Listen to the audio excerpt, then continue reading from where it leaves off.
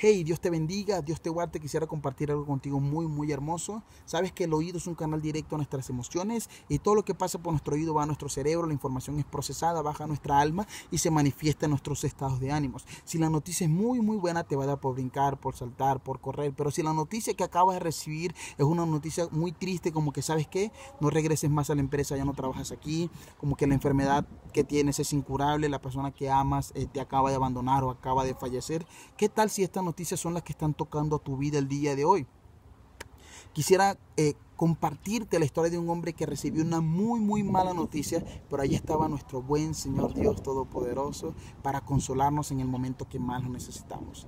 Está en el libro de Marcos capítulo 5, a partir del versículo 21 en adelante, habla la historia de un hombre que se llama Jairo, que tiene a la, su hija, su princesa, la luz de sus ojos, su niña hermosa, que está enfermo, él no sabe qué hacer, él entiende que el único que puede ayudarlo es Cristo, él corre hacia el maestro y le dice, maestro, ayúdame porque mi hija está enferma. Cristo con esa pasión, con ese amor que lo caracteriza, atiende al, al llamado de Jairo, se dirigen hacia la casa de Jairo, pero ocurre algo en el camino. No sé si les ha pasado que cuando están apurados deben llegar a un lugar lo antes posible, agarran todos los semáforos en rojo, el camión se detiene en todas las estaciones, hay alguien que viene manejando a 10 frente a ti, no, no hayas cómo llegar más temprano porque hay un estorbo, hay algo que, que está deteniendo que puedas llegar a tiempo a donde deberías llegar. Pues este hombre estaba apurado por llegar a su casa y aparece en escena una mujer que toca el borde del banto del maestro y hace que Jesús se detenga en su peregrinaje. Tal vez Jairo no se había dado cuenta que Jesús se había detenido y seguía Jairo caminando y cuando Jairo se voltea y bueno, ¿y dónde está Cristo? Resulta que Cristo estaba por allá preguntando, ¿quién me ha tocado? Quién me ha tocado. Y los discípulos, maestros, pero no entiendes que la multitud te aprieta. ¿Cómo preguntas quién te ha tocado? Y pudiéramos hablar mucho de esta mujer con el flujo de sangre, pero nos olvidamos de un padre que está desesperado porque su hija está muriendo. Cristo necesitaba llegar allá para hacer el milagro, pero una mujer o alguien detiene este proselitismo. Jairo no sabía lo que estaba ocurriendo, solo sabía que el único que podía salvarla se detuvo a mitad de camino. Qué Qué frustrante para este padre que estaba esperando el milagro. Que qué difícil para un hombre que estaba esperando una respuesta de Dios, pero que la respuesta se detiene a mitad de camino. Resulta que cuando por fin se cierra este ciclo con la mujer, Jesús voltea para continuar su peregrinaje hacia la casa de Jairo, pero cuando ya Cristo se voltea para seguir caminando, alguien llega a las espaldas de Jairo y le dice por el oído, ¿sabes qué Jairo?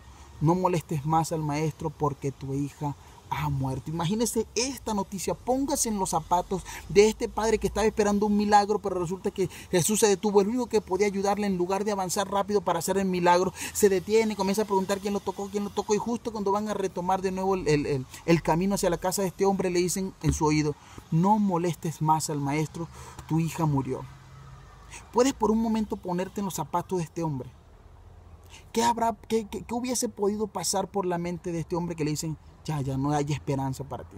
Pero el Señor en, su amor, en su misericordia, no permitió que nada de esto llenase el corazón de Jairo, sino que automáticamente, inmediatamente, dice el libro de Marcos 5, versículos 35, 36, dice que Cristo se volteó y escuchó lo que se decía. Impresionante, Cristo está escuchando todo lo que se dice a tu oído, que ya no tienes trabajo, que ya no tienes futuro, que no tiene más eh, remedio tu matrimonio, que ya no hay esperanza para ti. Jesús está escuchando lo que se dice y Jesús se miró y le dijo, Jairo, Jairo, ¿sabes qué? No temas cree solamente. Y esa es la palabra que hoy quiero compartir contigo. Qué preciosa palabra. ¿Sabes qué? No importa lo que el chamuco haya dicho a tu oído, no importa lo que Satanás o cualquier persona enviada por el diablo haya dicho a tu oído, el Señor te dice, ¿sabes qué? No temas, cree solamente. Hay un pasaje en el libro de Éxodo capítulo 14, 14 y dice, yo pelearé por ti mientras estés tranquilo. Condición sine qua non, debemos estar tranquilos en reposada paz para que el Señor pueda pelear y defender nuestra causa. Dice el Salmo 46, dice el Señor es nuestro amparo, nuestra fortaleza, nuestro punto de auxilio en las tribulaciones. Por tanto, no vamos a temer aunque la tierra sea removida, aunque se levante y brame las aguas del mar. Y dice el versículo 10 de este capítulo, estad quietos y conoced que yo soy Dios y seré exaltado sobre toda la tierra. Entonces, hermanos, el Señor nos invita que a pesar de lo que estemos escuchando, que estemos quietos, que estemos eh, confiando en Él, porque Él ha dicho, no temas, cree solamente, yo voy a ir a tu encuentro, yo te voy a ayudar, yo te voy a sacar de esa situación, pero necesitas estar quieto y necesitas creer. Así que sécate las lágrimas, así que deja de discutir contigo mismo, así que deja de reclamarte cosas y no temas, cree solamente. Y recuerda la canción que escribió eh, algún brasileño, dice que Dios no rechaza oración, que la oración es alimento y al final dice, alaba a Dios, alaba a Dios, alaba a Dios.